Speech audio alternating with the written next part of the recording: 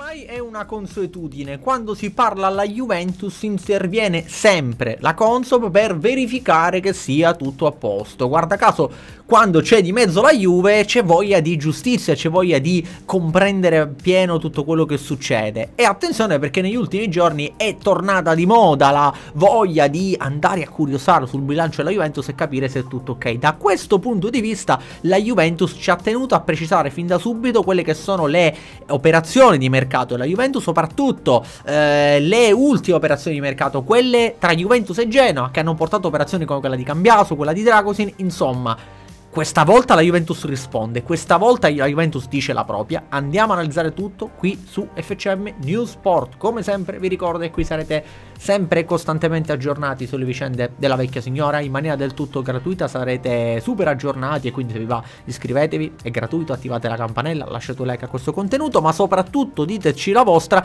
in merito a queste situazioni che vedono la Juventus coinvolta in queste operazioni incrociate che la Consop ha messo nel mirino e tra queste ci sarebbe anche quella della Juventus. In particolare sul bilancio 22-23 eh, la Juventus ha eh, risposto e ha con un comunicato ufficiale risposto direttamente alla Consob dicendo signori guardate che qui le cose stanno a posto. E leggiamo, gli effetti economici e patrimoniali sorti nell'esercizio 22-23 derivano esclusivamente da un'operazione incrociata realizzata nel mese di luglio 22, ossia la cessione al Genoa dei diritti alla prestazioni sportive del calciatore Radu Dragusin per un corrispettivo di 5,5 milioni di euro, che ha generato una plusvalenza di 3,7 milioni, cui è seguito nella medesima finestra di calciomercato l'acquisto da parte della Juventus del Genoa dei diritti alla prestazione sportiva sportive del calciatore Andrea Cambiaso per un corrispettivo di 8,5 milioni, eh, come detto. Secondo Consob, Juventus la Juventus non avrebbe potuto rilevare la plusvalenza pari a 3,7 milioni realizzata con la cessione del calciatore Dragusin e avrebbe pertanto dovuto registrare i diritti alle prestazioni sportive di Andrea Cambiaso a un valore di carico inferiore di 3,7. L'effetto netto nel conto economico 22-23 dell'eliminazione della plusvalenza di minore ammortamento dell'effettivo eh, figurato fiscale derivanti da tale diverso trattamento contabile sarebbe stato negativo di 2,9. Ehm, il club bianconero, con, pur confermando la correttezza del proprio operato, ha comunque precisato che in via meramente subordinata e prudenziale può valutare se l'operazione ha i requisiti previsti dallo, ehm, Articolo 38 che riguarda la configurabilità di dette operazioni quali permute di attività in luogo di transizioni separate e autonome.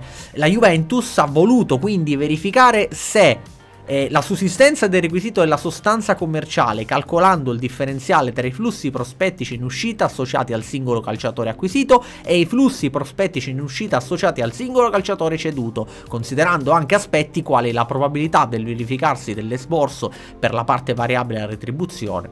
Tali differenze tra flussi è stato poi rapportato ai prezzi di acquisto cessione di ciascun calciatore e sono state, sono state formulate le opportune considerazioni in termini di significatività.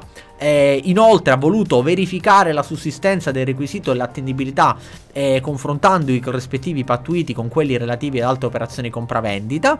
Inoltre il, club bianconero eh, afferma che ehm, la valutazione dei, dei calciatori interessati è suscettibile, sempre sulla base di approfondimenti di natura tecnico-contabile svolti dalla, eh, dalla società con l'ausilio degli esperti contabili esterni, di una misurazione attendibile. Di fatto, quindi, la Juventus questa volta ci ha precisato che, ehm, che dunque si andrà ad analizzare il tutto. Si tratta quindi di di situazioni già conosciute e non di nuove valutazioni. Si tratta quindi di operazione che secondo la Consob la Juventus non doveva mettere a segno quella plusvalenza, cioè non doveva registrare quella plusvalenza e avrebbe dovuto registrare i diritti di Cambiaso a un valore inferiore. La Juventus invece tiene, ci tiene a sottolineare che tutto in regola ma comunque si mette a disposizione per eventuali appunto ulteriori controlli. Beh, a me sembra qua che si stia veramente andando oltre. Nel senso che ho come la percezione che la Juventus ormai sia diventata quasi un, un obiettivo un po' troppo facile da individuare.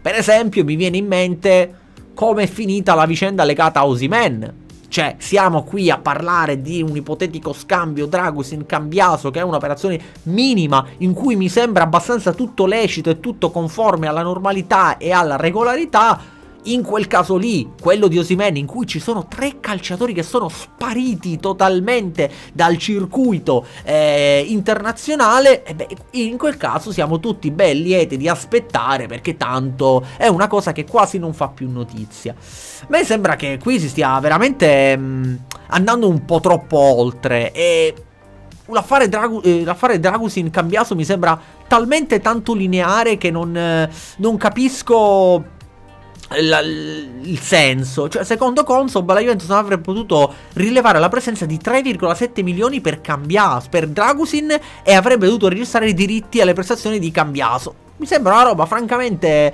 folle. La Juventus, come detto, eh, si sente abbastanza tranquilla sulla vicenda e non ha, diciamo, neanche, anzi mi è piaciuto fin da subito la risposta e il comunicato, cioè da questo punto di vista, secondo me, la società deve cambiare eh, attitudine, cioè deve cominciare a rispondere un po' più nell'immediato.